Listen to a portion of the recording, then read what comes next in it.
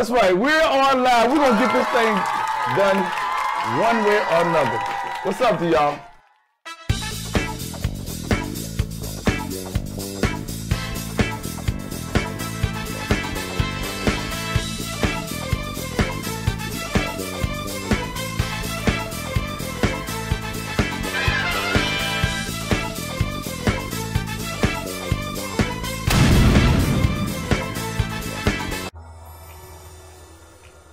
Up? What's up? What's up? What's up? It's kind of bright out here, but it's really not that bright. The sun is going back and forth, but um, I'm over here doing my thing. I would open the pit and show y'all what's going on, but not a good time to open it. Trying to keep my temp steady. Chicken over here. Always cook your, cook your chicken at a high temperature, 275 or better. Don't want no skin you can't back bite through. Okay. So um, I got my chicken rolling on there on two zone cooking. Um, I wish I had two of these, but it's all gravy. I'm still making it happen. Two zone cooking. You got your coals on one side, water pan on the other side.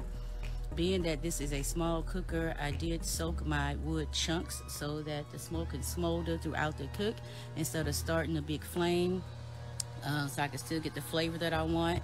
And moving over here, it's my table. Got my necessities on there. Uh, that's my trash bucket. You gotta have somewhere to put your trash.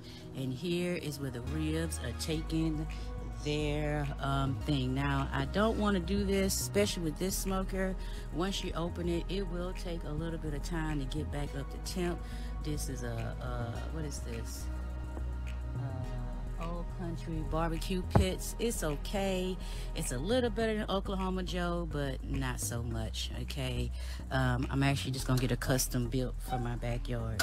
Um, these ribs have been on for maybe an hour, almost an hour. These ribs I just put on here. I have my rib racks working so I can get more meat for my, more bang for my buck here for as um, grill space.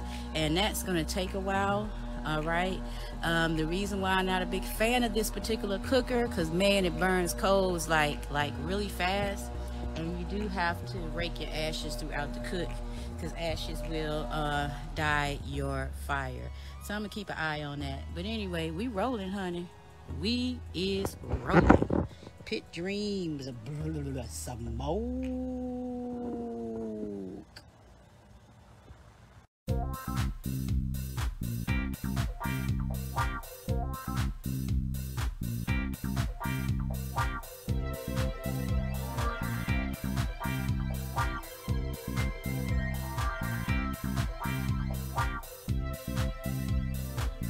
Woo!